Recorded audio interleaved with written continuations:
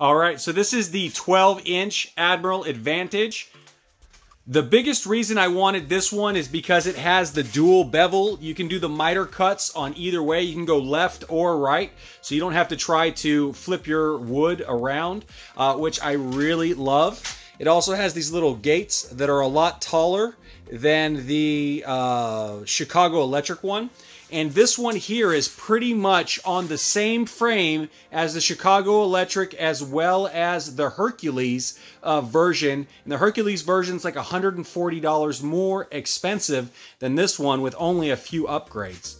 Okay, so for some basic stats, it can do 4 by 14 on the horizontal cut capacity, 6.5 inch nested crown molding, and we're going to be putting some crown molding up in the house a little bit later. And it also does 5.5 inches on vertical baseboards, which is pretty great. Uh, you do need to make sure uh, that you are on a 15 amp circuit so that you don't, uh, you know, trip this when you are doing it. Uh, so make sure that you are on a 15 amp plug uh, to be able to take full advantage of this bad boy here. Okay, once again, it is a 12 inch blade size. It does come with a free blade inside. It also has a one inch arbor and uh, 3,800 RPMs.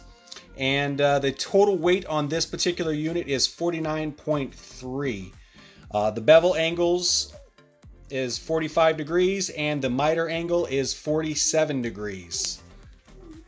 Item number 64686. As I said, this one here has four and a half inch tall sliding fences, uh, where the other one is like one and a half to two inches. Uh, it also allows you to do the bevel controls in the front, where the Chicago Electric, the controls are in the back. And uh, this one here also has the laser cut line. Uh, now, I've seen in some of the review videos that the laser actually doesn't completely line up where your cut is. So we're going to test that out and we're going to let you know. Uh, and uh, you see that we actually got the last one. So we're hoping that it's not damaged in the box. We're hoping that it's just cosmetic so that we can get in here and start cutting some stuff. Uh, it also comes with an LED work light on the side, and it has extension tables to be able to support your long pieces of wood if you're cutting or your long pieces of molding, stuff like that. Now, let me tell you, I get a lot of my tools for free. I recently got a free sander. I recently got a free nail gun uh, and some other things as well. I did buy this myself. And uh, if anyone out there is watching and they have routers and you want to send me a free router, I need one of those to build my desk. I would love to do a video on it. So get at me if you got a free router. Massive box. Let's jump right in. Okay, let's see what's inside. All right, so first thing on the top, that's our 60 inch tooth saw blade right there. Came for free instead of having to spend 20 bucks on a blade. That is awesome. All right, so we got the user manual.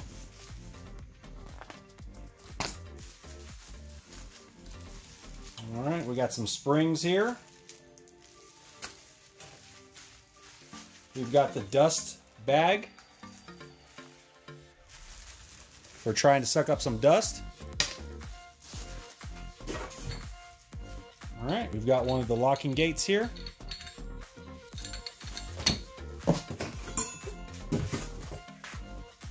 All right, here's the locking wrench.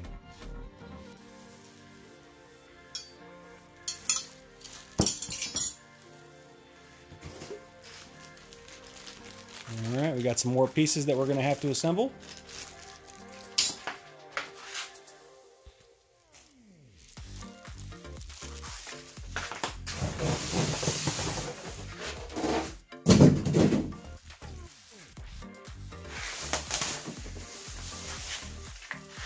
She is. The fabled saw. Look at that bad boy. It's all shiny, ready to go. So in the box, I found something damaged here. Hopefully it's not something too important. We'll have to check it out and see where it goes. All right, on the front, it comes with a zip tie that you need to cut off. There's a red lock in the back that you need to undo so that you can move the saw up, move it back, and take out the styrofoam. You can use the red knob back and forth to lock it so you can't move it. When you unlock it, it allows it to move. All right, if you want to angle the bevel of your cut, you can pull this handle up and there is a little trigger on the bottom. You can pull the trigger up and move it to wherever you want it to go. Lock it in place and then it will do the cut that you desire. So it's super easy to be able to get the degree cuts that you like uh, with a simple pull of the lever and a pull of the trigger. Now it is a little sad here in the back uh, where you do the miter angles. Um, you see that my little ruler chart's already coming up in the center where they riveted it. And on this other side, it's completely off. Probably put some adhesive down to put that on, but yeah, it's kind of sad that right out of the box, it's already coming off. If you want to move these side gates, you can undo the bolt and you can move them out and you can lock them in place. So that gives you a little bit more stability when you have your long pieces of wood coming down.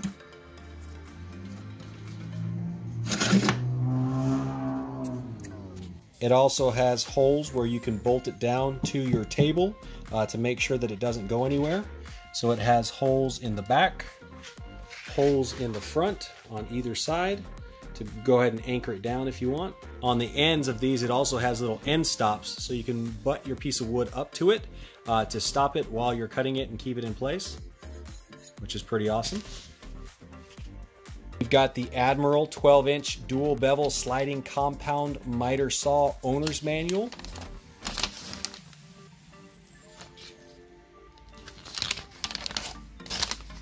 Plug it in.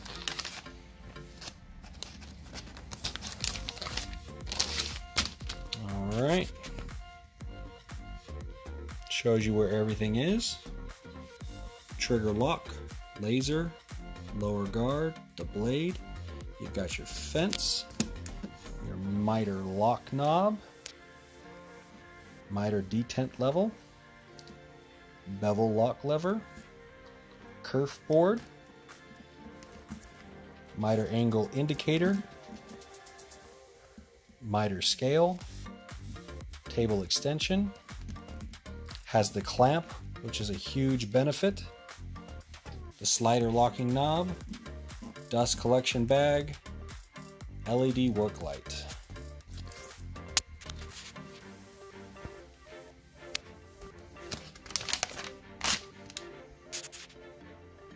Replacing the blade.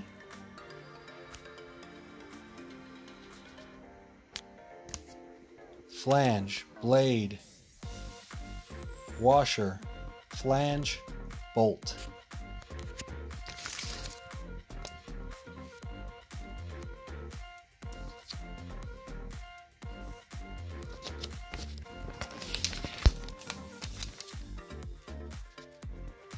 You got your depth bolt, the stop bolt and the stop nut for where you want it to go up and down.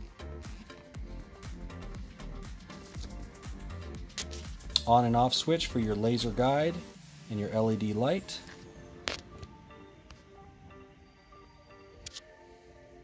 Showing you how to use it. Fence adjustments.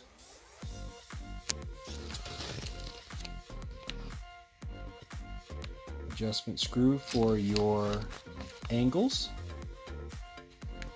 your stops for your bevels,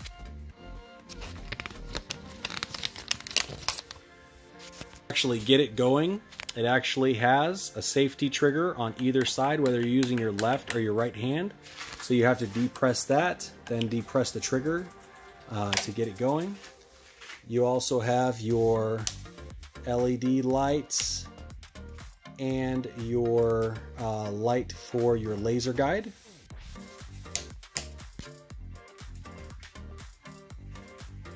All right, so here's the secret. When you want to move your angle, you undo your locking knob here, you press down the trigger, and you select where you want it to go.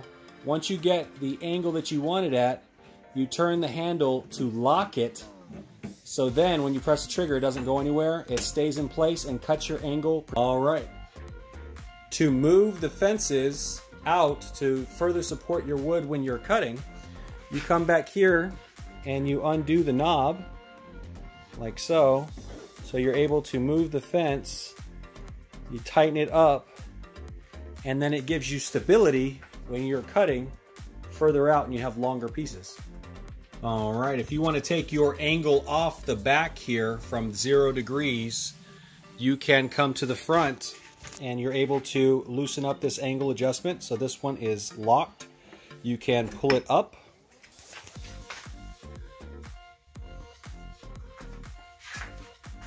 You are able to find the angle at which you want to cut. And so it goes to 45 degrees on the left and 45 degrees on the right. Now, when you're going the other way, they have a zero stop block right here. So what you can do is if you pull it back, you can put down the zero stop block and you can actually go to the right.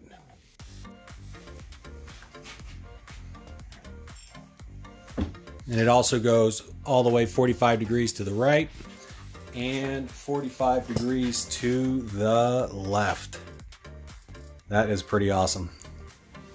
I've been looking for one that goes both ways and I love that you're able to control all of the movements up here in the front as opposed on the Chicago Electric where you have to go to the back and try to do it. All right, setting it back to zero. We're going to bring it back. Set our zero bar back up.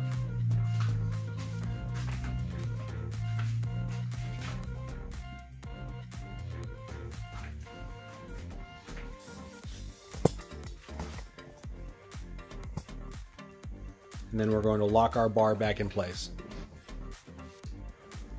Ready to go.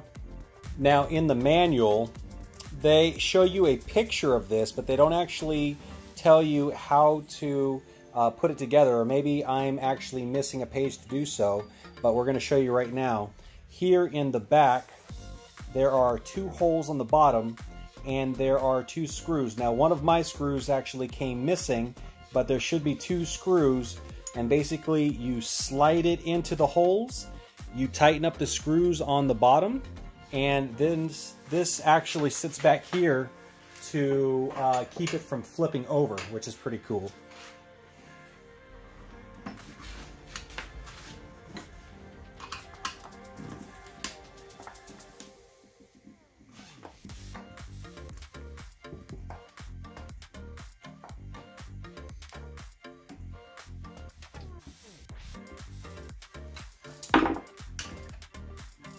So that one's actually in there really good, which is kind of funny because the other one is completely missing. So I'm going to have to get my torque wrench to get this one out. My impact.